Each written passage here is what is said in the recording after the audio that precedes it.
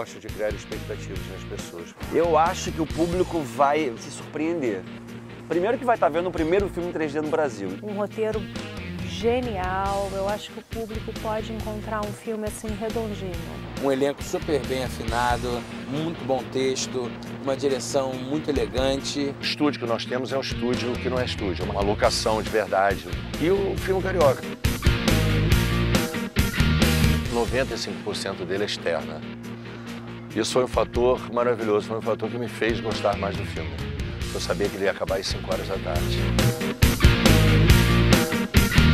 Quem está assistindo vai ter muita diversão. Ele vai encontrar um humor que eu acho que foi perdido aí no cinema brasileiro. É um filme que vai conquistar, pegar o espectador. Vai ser um filme muito aplaudido. Muito aplaudido nos cinemas aí do nosso país. Estou com expectativa alta, acho que vai ser bem legal. O primeiro filme em 3D feito com muito amor. E diversão, é isso que o público pode esperar, diversão. 30 de agosto nos cinemas.